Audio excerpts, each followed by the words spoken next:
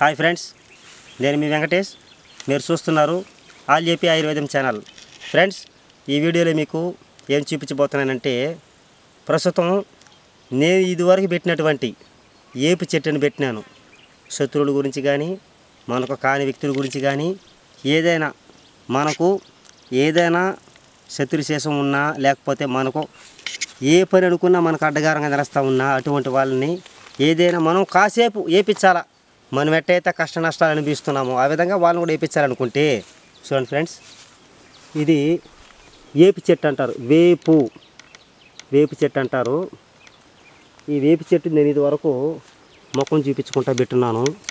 చూడండి ఫ్రెండ్స్ ఈ విధంగా మనకు రెండు రెండు ఆకుల్లాగా మొలుస్తాయి అటుపక్క ఒకటి బటర్ఫ్లైగా సీతాకొక చిలుకలాగా ఉంటాయి ఆకులు. అటుపక్క ఒక రెమ్మ ఇటుపక్క ఒక రెమ్మ ఆకులు.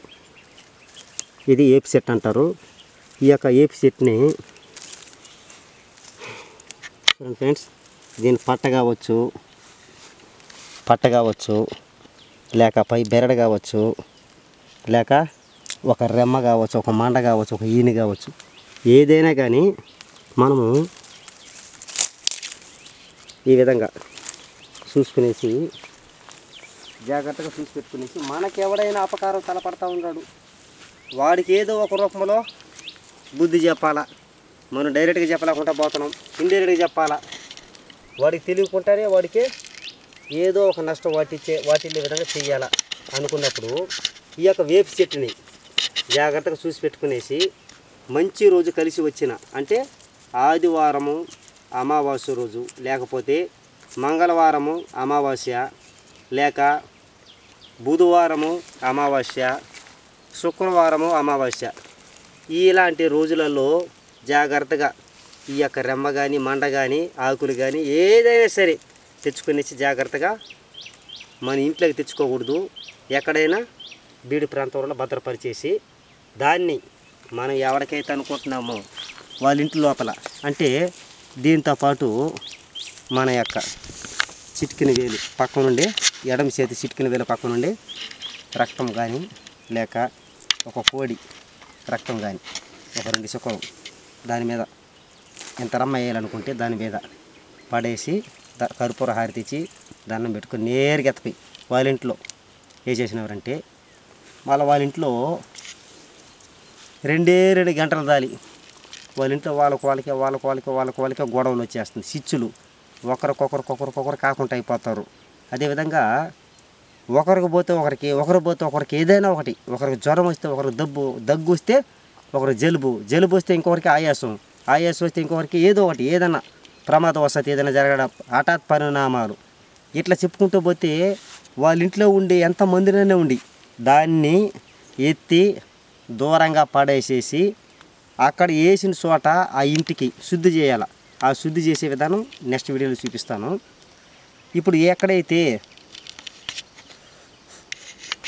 వాసన కూడా గుమాయిస్తూ ఉండద్ది అయితే దీనిని ఈ యొక్క రెమ్మలు ఏదైనా దేవాలయాలు ఆలయాలు అంటాం కదా గుడులు అలాంటి గుళ్ళకి తలుపులు కానీ దారబందరాలు కానీ కిటికీలు కానీ చేసినట్లయితే ఆ యొక్క గుడి ఎన్నో సంవత్సరాల పాటు తేజోవంతంగా ఆ యొక్క గుడి అభివృద్ధి అనేది చెందుతూ ఎంతోమందికి జీవనోపాధి కలిగిస్తుంది.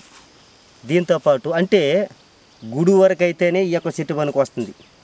లేదు నాశనం చేయాలనుకుంటే మాత్రం ఇలాంటి ఈ చెట్టులో పనికి వచ్చే ప్రతి ఒక్కటి పనికి వస్తుంది. ఇంకేదైనా రోగాలకు కానీ ఇంకేదైనా మంచి పనులు చేయాలంటే మాత్రం పనికిరాదు. గుడి కట్టిన తర్వాత గుడికి తలుపులు దాలబందరాలు కిటికీలుగా పనికి వస్తుంది.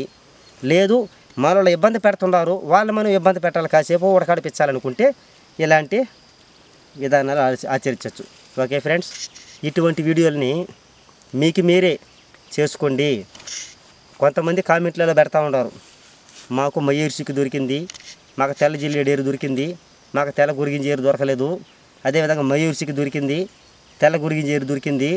అదేవిధంగా ఏపీ సీట్ దొరకలేదు అని కొన్ని కొన్ని కామెంట్లు ఎతకాల మేము ఇప్పుడేమో తక్కువ అడుగులు పోయినా చూ ఒకసారి అటు చూపించా.